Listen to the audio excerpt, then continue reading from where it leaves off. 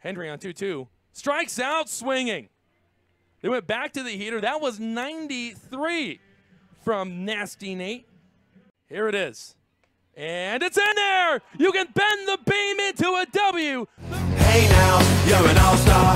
Get your game on, go play. Welcome back to the Railcats Talk podcast. That's Chuck Polerak. I'm Kyle Svetich, and we have all-star closer Nate Alexander. Nate, how are we doing?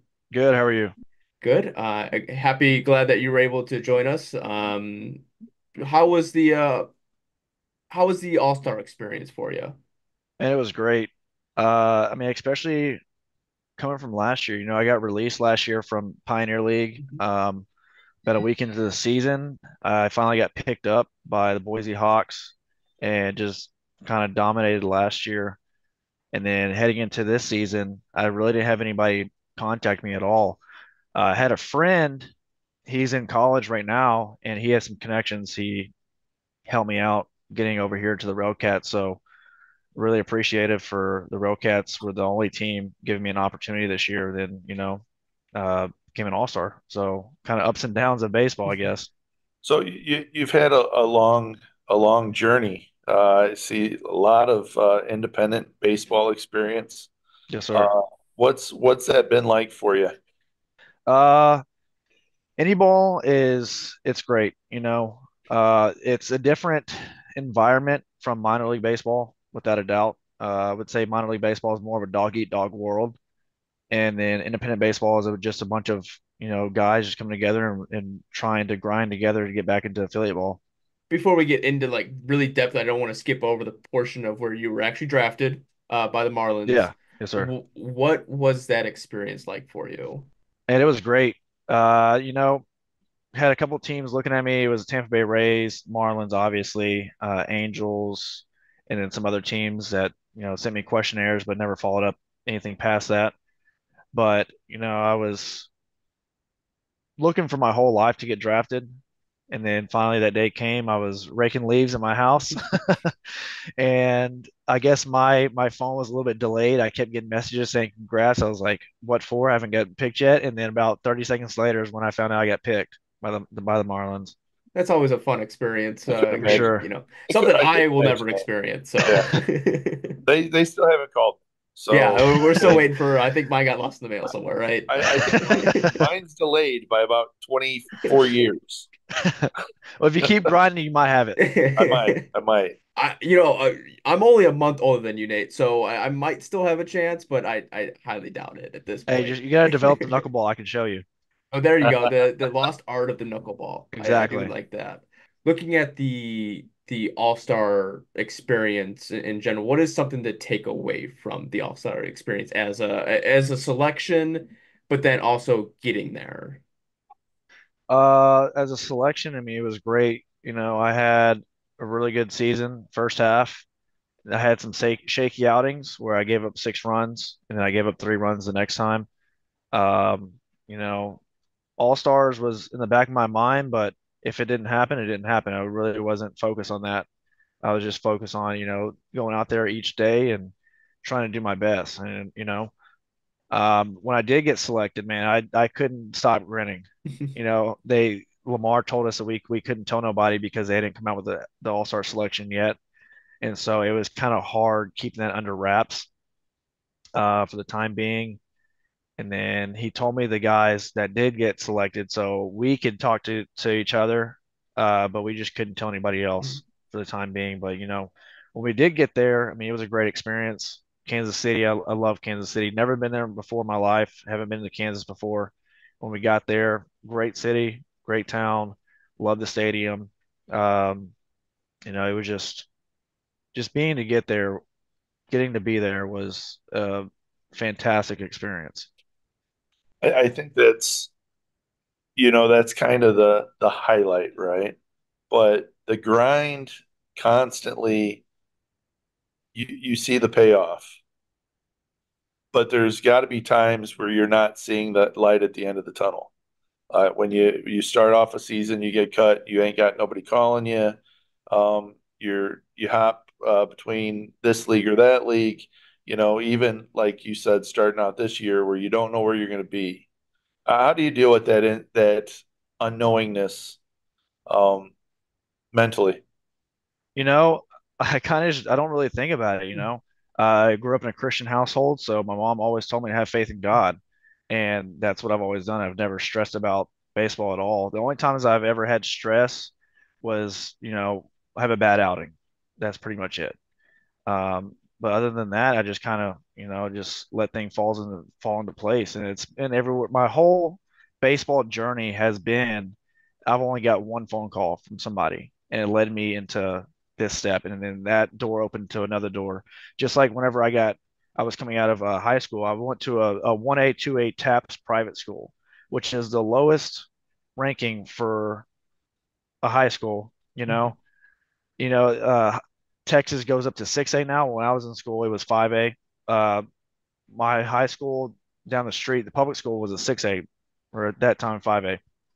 So we're at a 1A slash 2A because there wasn't enough teams at the 1A level. I graduated with 23, 24 people. There was 75 people in my whole entire high school. So when you have college coaches looking at that, like, oh, he's just, you know, going to a Christian school, not really seeing any competition. Yeah, he's doing good, but can he compete at the next level, right? So, uh, you know, the only way I got into college baseball is because my brother sent me a a DM. He sent me a, a, text message saying, "Hey, there's a scouting combine in Houston if you want to go to it." I was a junior in high school going into my senior year. It's the summer, so I go over there. I, I performed pretty well. I think I topped out at 92. I was sitting like 89, 91. Um, and then Blinn texted me a couple days later, said, Hey, we really want to look at you. I said, Okay. So they said, uh, you talking to anybody else? I said, no, I'm not. He said, have you committed anywhere else? I said, no, sir. So he said, we really want to get you out for a visit and everything. And so that was the only team that ever looked at me at a, at a high school. And it was only because my brother sent me a text, text message about that scouting combine. Other than that, I had nowhere else to go. And then uh, made the All Star game for junior college ended up tearing my my elbow up, and then I was already committed to UTSA, thank God, and got drafted, and ever since then, just you know, only one or two doors opened up. You know, I went to the Boulders after after I got released. They traded me over to the Pioneer League, and then that's when I got released. So it's just been kind of a a roller coaster. Yeah, having, uh, having faith is is a great uh, a great thing when it comes to this type of a lifestyle. Absolutely. And I, I for one, can definitely appreciate that. Uh, and that's something that doesn't, uh, you know, I've hosted families for the past, or hosted guys for the past three years. And I, I, I will admit my view of 20 somethings kids was very negative because you know I see who my my daughter's friends were, you know, and and and my son's friends, and not necessarily people that I would be like these guys are going to be doing brain surgery next month, you know, or or in yeah. ten years, and but then all of a sudden I get these these ball players that are like, man, these guys are intelligent, and you start to really look at the lifestyle of you don't know where you're going to play next week. Uh, you don't know what's going to happen. And you really have to be grounded in something. And and we just talked to, to Howie about that. Uh, and so being grounded in faith, I find is a very common thing for baseball players. Uh, and I think that has a tie to it. It's that you can't really get through this lifestyle uh, without having something to rely on, something to look on to say, hey, there's something else that's in control here. I just need to do my part. Yep, exactly. You know, this team, this is one of the best teams I've been a part of as far as chemistry wise. Uh, if it's not the best team, or yeah, if it's got to be the best team by far. You know, uh, all the guys click together well. Majority of us are in Sunday morning chapel with each other, which is great. You know, we all sh- pretty much all of us share the same faith. Now, obviously, everyone has their different beliefs, stuff like that. But you know, we all get together and share communion. It's a true a true connection with each other through our faith. That's awesome. I, I that's something I, I don't. We've never talked about that, have we? No, I don't think uh uh I I know uh, religion can be sort of a touchy subject on, th certain things, but uh, I don't think we've really touched on it. I mean, people have a lot of baseball players are really religious. I mean, most of the time that you they talk, they they are thankful for uh, what God has provided for them. Uh, but I just don't think we've really got into depth with with the team in general about, you know, the the chapel, you know, people going to the church together, and that's I don't that's the thing that you just normally don't get to see or hear. So it's, it's just an interesting uh, spin Yeah. on things. That's one reason why I think me and Chuck decided to start doing this. Just we want to know what you guys are up to, and that's just something that's interesting to me. With with the season that that that has been laid out in front of us, what has that chemistry done to kind of get you guys through the season? You know, obviously we're having a a little rough patch throughout the whole season. Some guys would get hot and then we get cold. Uh, It's it happens throughout Mhm. baseball. Yeah. Teams lose. I mean, on paper, we're the best team in the league, without a doubt. And we- I mean, even through the trials and tribul tribulations, we still have such a great clubhouse and within our team. There's been no fighting with each other, which I've I've seen it time and time again. You know, guys don't like each other. You know, there's cliques. You know what I'm saying? I haven't seen any of that this year at all, and it's just been it's been great to see. It clubhouse morales are, are fantastic. We're behind each other's back 24/7. We have each other's back all the time, and I, I love it. You know, um, but yeah, it's been it's been a great experience so far. With with with that being said, is it something that the the coaching staff has put in place uh to kind of keep the locker room like uh not locker room rules, but like just bringing in the guys that can kind of to blend together, or is that just like a policing of the players in general? Man, I I think Lamar did a great job on picking his guys. Uh, I think we just all have really good, you know, personalities and, and bonding experiences. We're all we're all older guys, you know. Mhm. Uh, there's some younger guys on our team.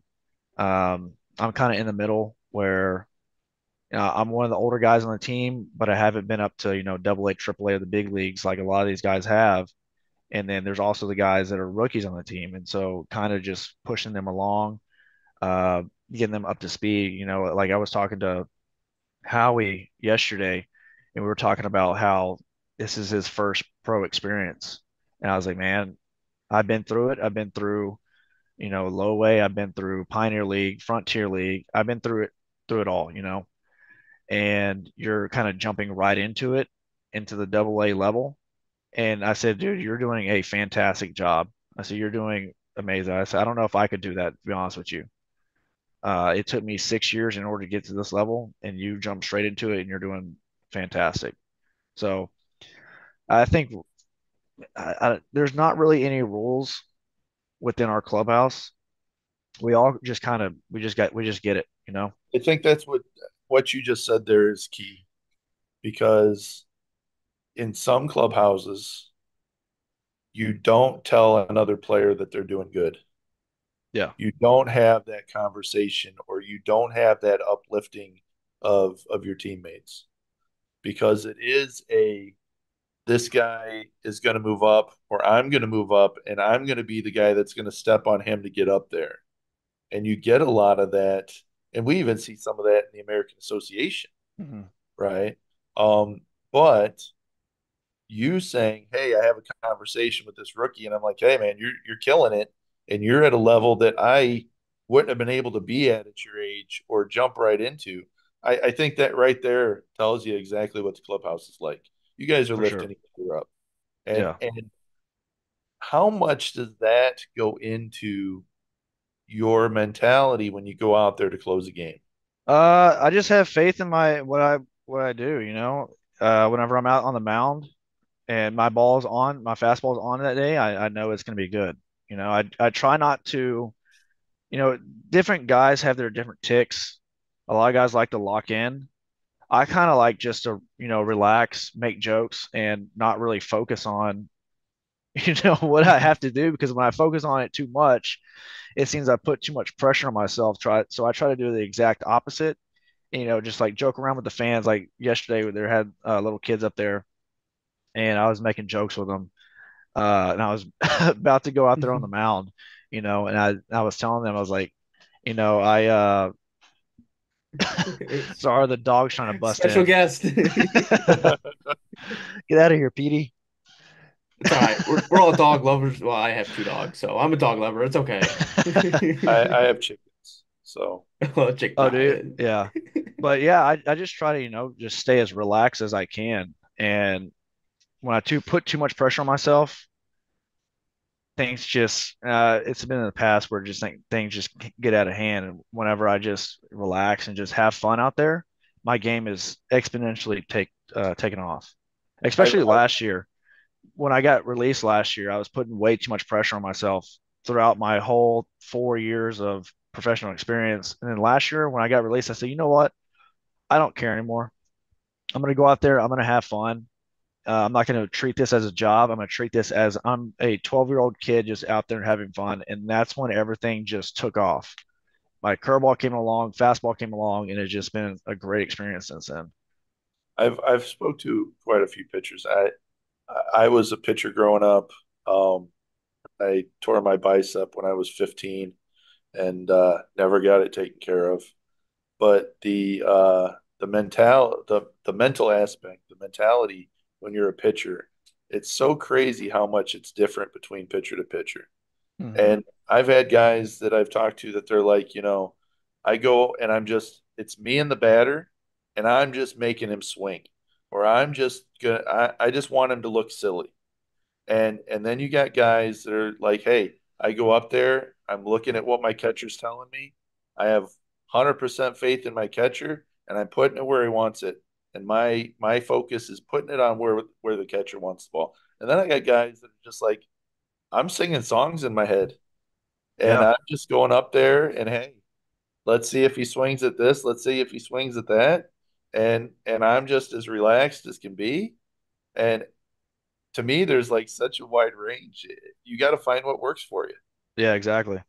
You know, I, you know, whenever I'm out there on the mound, obviously I'm forced to get locked in, but I still try to take myself out of that and start trying to like make jokes and like, you know, just think about different things on the mound so I'm not, you know, too locked in. Just stay relaxed, you know. Uh, but when I'm out there on the mound, I'm just thinking about, okay, it's the hitter's not even up there. It's me and the catcher, and that's it. And as long as I get my fastball high and it has ride, I'm good. Most of the time, I mean, this is the first time that I've been able to really talk to a, a pitcher on the podcast. Most of the time, it's mostly been infielders uh, or a catcher, you know, but in in a closer role, what is the the mindset, maybe something different between like going in and closing a game out and just going in for a relief appearance? kind of going back to just staying relaxed whenever you're in a tight situation and it's a you know we're up by three or we're up by one save situation um i just still try to stay relaxed you know try not to do too much when you do too much you start forcing yourself to get out of your rhythm and i just thinking about my mechanics down the mound and just getting my you know getting my fastball just in here. If you'll see me sometimes when I'm on the mound, I go like this. Is because I'm trying to mentally visualize myself getting my arm through the ball, get behind the ball instead of around. Because sometimes I'll get around it like this, and my ball will sink or cut. I'm just trying to visually get behind the ball and get through it. But I mean, other than that, uh, I think if you think too much about it, for me at least, and when I think about too much, uh, put too much pressure on myself, which I try to eliminate that. Eh, Being a, a closer or reliever, mostly closer, I mean, you were you and I believe Ty were the first two that were signed for the 2024 season back in 2023, if I'm not mistaken, I believe. But you know, coming in and stepping into being the closer and and solidifying yourself right off the bat, going nine innings or let's just say eight innings you know, what's the the bullpen experience like? Bullpen experience, uh, I mean, it's great. We're out there. I probably can't say too much of what we talk about, but uh, me and Denson were talking about this the other day of how, like, you know, fans are probably asking all the time to each other, like, what are we talking about? Are we talking about pitch grips? Are we talking about, you know, what the batters are doing? We're not talking about any of that. We're talking about, you know, just stuff that happened within the news or just something just completely off the walls, you know?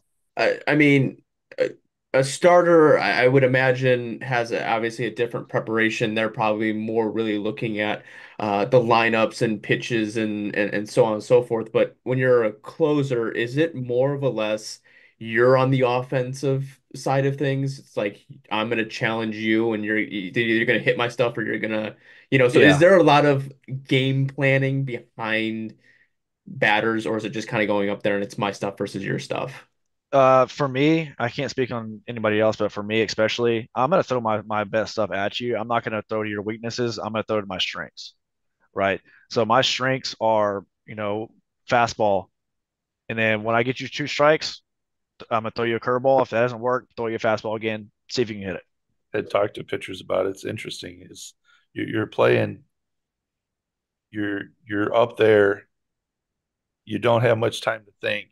You really have to go into if you're going to beat me, you're going to beat me with my best pitch. You know, and that's that's the battle, right? It's just so fast. There's a lot of different questions I could go Yeah. with. It's just it's just fascinating. hard, aren't they? I Um, mean, yeah, it's not that the the uh that we're running out of questions. It's just what questions to ask is, Oh, you know, Bring it.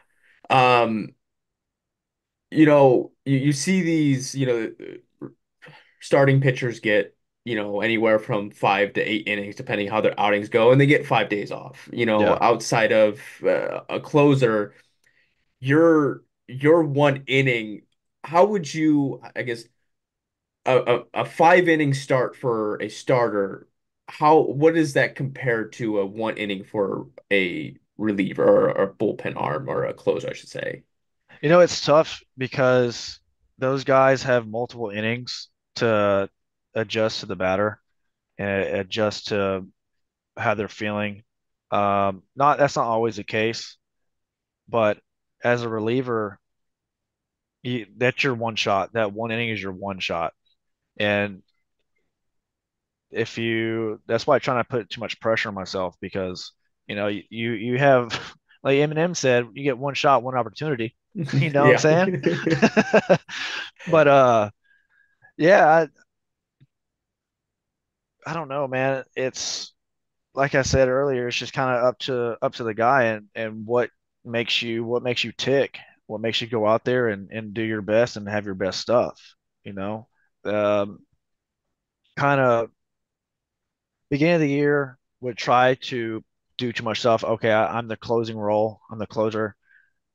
I've got to do this. I'm older guy. You know, I've got to I got to set an example for the team. You know, and first three outings, all all were losses. You know, and so I was like, okay, let's take a step back. Let's do some things different. Let's try to work on the mental game first because I was putting way too much pressure on myself where I couldn't throw a strike. And then I was like, you know what? I'm just gonna go out there and have fun like I did last year. You know, so here you go, hit it. And as far as a closer role, some guys may be different, but as far as me, just you know, go out there and just have fun. Is is the mentality a little bit different? Because there's been a handful of games where uh you would pitch the ninth when the game's tied and you would pitch that extra inning. Is there a a different mindset when going into those kind of appearances because you're really normally going one inning and now you have to turn it into two innings is you know that is the first inning your stuff isn't not not as good but not as a fastball you know you may be touching you know 90s versus you know that first inning you may be touching only the 80s because you're not giving 110% right off the bat because yeah. you have to uh, go another inning is there a different mindset or is it just kind of like I- I'm just gonna it is what it is, and I'm just go out there and throw 110% every time. Not really. I mean, it's the same same mindset. I have full trust in our hitters. You know, if if we go to extra innings, I have full trust that our hitters are going to get that guy in second round. You know, whatever happens after that, it's kind of on me because I've got to eliminate those guys uh, on second and extra innings. Um, so you know, not really. Uh, it's kind of just 100% the whole way. You know, some pitches like I'm been working on a sinker Mhm. and moving my I've been moving my thumb up from what uh Kent has been telling me to throw a sinker. He said first just throw it like a BP fastball. So that's what I've been doing until I get more feel with it. And then, you know, then throw it as hard as you can. So those pitches that are in the 80s, hopefully they're the sinker that I'm just trying to throw like a BP fastball. But uh no, I, all my whole intent doesn't matter if it's the first, second, or third inning, which I haven't gone three innings this year, thank the Lord. but uh no, every single inning's just been a hundred percent, unless I haven't been feeling the best. Uh, that outing, I gave up six runs. I don't know what happened that day. It's just like my shoulder gave out, and it, it felt like I was trying to give a hundred percent, but my body just felt like it was at sixty percent. I just, I told when uh, Lamar came up there, I told him I was like, man, my my shoulder is just it's dead right now. I can't even I can't even lift it up. So uh, it's been good after that though. Been really good after that. when when you're when you're up there pitching, and there's so many different factors that can come into play. Uh, whether they get a hit and and uh, somebody's not there, you know, they hit one of the gaps, or uh, players make errors, um, umpires not calling strikes. So many different things outside necessarily of your control, right? And and the crap starts to hit the fan. How how do you bring yourself or keep yourself into that focused mentality or that being able to, you know, not put too much on your shoulder. So I'm kind of gonna gonna go back on my word. Uh-oh. So when that's when stuff starts to hit the fan, uh, Metallica starts playing in my head, and then I'm like, all right, come on, let's go. Like now I'm in fight mode. You want you want to hit me? All right, come on. I'm, I'm you want to hit me in the mouth? I'm about to hit you in the mouth two times harder. So Yep. uh, other than that, um, I would say when when stuff hits the fan, it's just kind of trying to stay and not do too much because I I do want to, you know, go at you with even harder. And like I was saying earlier, try not to do too much, trying to calm my emotions and and stay under focus. Um, a big thing too is just you know trusting my stuff. One guy gets a hit, okay, I bet you this guy can't get a hit though. It's Right. just he, he he saw one pitch. Maybe I left that pitch, you know, too middle middle, or it wasn't in a good spot per se, or curveball was just up or whatever it is. Um, like next time is all right. Let's get that pitch in a better location. If it's curveball, let's get that a little more down, or let's throw a fastball a little bit higher, and, and get it get it up more in in on their hands. Yeah, we me, me and Kyle, we go back and forth. We're talking about uh, different things when it comes to pitchers. I, I love talking about pitching, and you know, it, it seems like a pitcher can go out there and trust his stuff, but also trust his fielders behind him that he doesn't have to carry the weight. But when stuff starts to hit the fan, the pitcher feels like, okay, now I have to carry the weight. And then it kind of snowballs because now you're trying too hard Yeah. or you're you're putting too much pressure on things, you're throwing too hard, or what have you, right? And keeping that calm seems to be the secret. You know, trusting that, hey, yeah, the guy's made an error, but I know they're not going to make another one. You know, Yeah. or uh, yeah, he hit the gap, but I know that my fielders are making those adjustments and having still having faith in, in those guys behind you. Uh, even when it feels like okay, things things are getting rough. Yeah.